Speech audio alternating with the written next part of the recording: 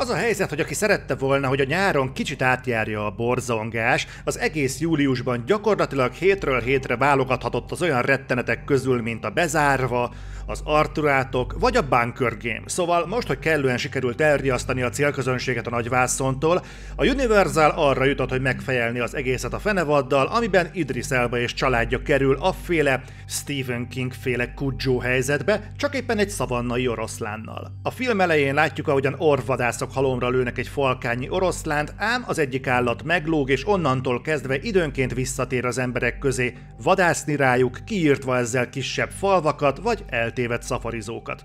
Idris Elba és családja éppen erre a környékre jön kicsit pihenni, és barátjuk el is viszi őket egy különleges útra, ám arról ő sem tud, hogy az embervérre szomjas oroszlán éppen őket szemelte ki magának. Baltazar Kormakur rendező neve valószínűleg nem cseng túl ismerősen a filmnézők között, aminek az lehet az oka, hogy amikor éppen nem két kalibert forgat, akkor a filmjei középpontjában az ember és a természet harca áll.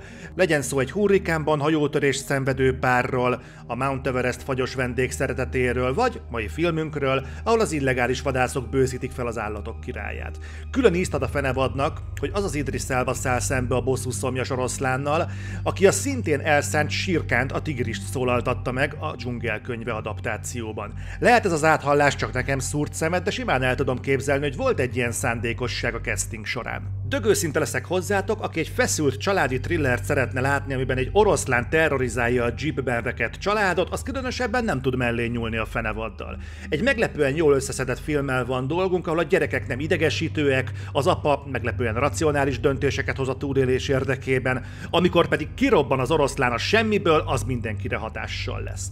A dramaturgiai csúcspontokkal példaértékűen tud gazdálkodni Kormakur, és ennek egy újabb tanúbizonysága a fenevad. Azt is ki kell emelnem, hogy vizuálisan a film egyszerűen káprázatos. Egészen elképesztő munkát végeztek a VFX szakemberek az oroszlánnal, nagyon működik ebben az értelemben véve a fenevad. Amit vállal a film, tehát azt maradéktalanul ellátja. Amiben több akar lenni, azzal viszont szerintem nem tud megbirkózni. Ezt úgy értem, hogy a filmnek van egy mindezen átívelő gondolatisága is, tehát esetünkben ez az oroszlán nem pusztán egy ragadozó, sokkal inkább egy sportvadász, vagyis nem táplálékként tekint az emberre, hanem csupán elejtendő prédaként. Ennél a pontnál lehetett volna sokkal komolyabb hangsúlyt fektetni az orvvadászok és az oroszlán úgymond egyensúlyára, és ez jelen is van, csak nem foglalkoznak vele, pedig éppen az ilyen szólamok tudnák a filmet egy polccal magasabbra helyezni. Emellett számos dolgot megválaszolatlanul hagy a film, például oroszlánunk álló képességét, hogy a kábítólövés miért nincs rá hatással.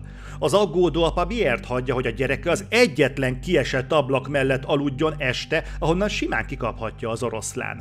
A családbeli viszonyok is valahogy úgy lógnak a levegőben. Az apa-lánya közti feszült viszonyt nem indokolja úgy igazán semmi, így a feloldásában sincs katarzis. A feleséges visszaemlékezések is kicsit céltalanok, viszont kicsivel több is van belőlük, mint kéne, a film vége pedig sajnos már elkezdi súrolni a nonsens határát, de még ez sem képes számottevően árnyalni azt, hogy a fenevad egy őrületesen feszült thriller lett. Ráadásul amiért hálás vagyok, hogy tisztában van azzal, mit akar átadni, és egy perccel sem nyújtja azt tovább. A mai világban, hogy egy film beéri a 100 perc alatti játékidővel szabályosan hálás voltam érte. A fenevad tehát pontosan az, aminek a trélere alapján tűnik egy feszült, izgalmas, oroszlántól menekülős thriller, horror.